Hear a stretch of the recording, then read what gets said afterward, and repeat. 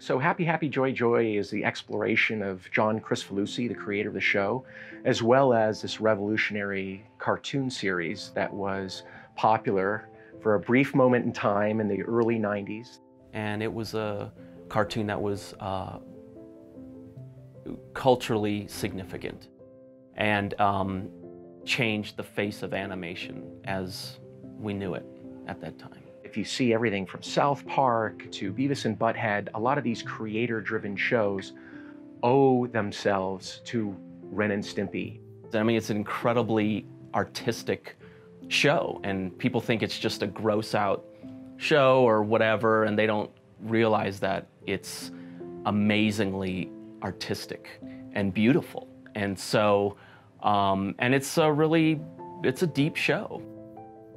And then we also look at John K., who's a, you know obsessive genius, but deeply troubled, uh, experienced trauma, inflicted trauma. So that's the story that we wanted to explore, not only the extraordinary artwork, but what the man behind it and you know, how do we treat art versus artist? I mean, it's so topical right now. We finished a movie that had multiple interviews without John Kricfalusi, the creator of the show, but we painted a picture of him through other artists and interviews with uh, network executives. The movie was done, post, everything done. And then four days later, the news breaks that John was living with an underage woman in the late 90s, and we're like, the movie's toxic. Who's going to celebrate a series when you're not addressing the elephant in the room? So we ended up just tearing down movie one, got a new editor in, and and told the story that we have now. And, and fortunately, John then agreed to be in the film, and Robyn Byrd very generously told her story. You are um, protecting all of the little girls who never put their crayons away. What I love most about shooting documentaries is just it's real. It's it's unscripted.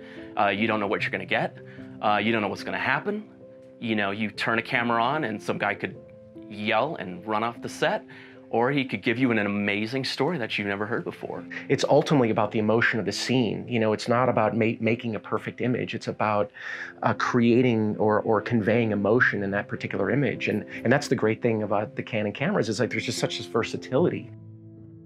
You know, as, as a producer and, and specifically somebody that sold his house and his car to make this movie, a lot's riding on the line, so reliability of your gear is of paramount importance, especially your camera. Your camera goes down, you're, you're done, not just for the day, but maybe the weekend. So reliability is incredibly important on a documentary. And the, the, the, C300 was, it was really bulletproof. We, we never had to worry about pulling it out of the case and going, oh my God. We use the C300 Mark II to shoot this documentary. It takes nothing to set it up and get going. Uh, menus are amazingly easy. So um, we wanted to shoot in 4K, so that was another reason. We did 50 plus interviews in all sorts of conditions, hot, cold. We traveled multiple times across country. The C300 was flawless on Happy, Happy, Joy, Joy. When you're dealing with emotional subjects, the last thing you want to be thinking about is, is the gear going to work? And so Canon gave us that comfort.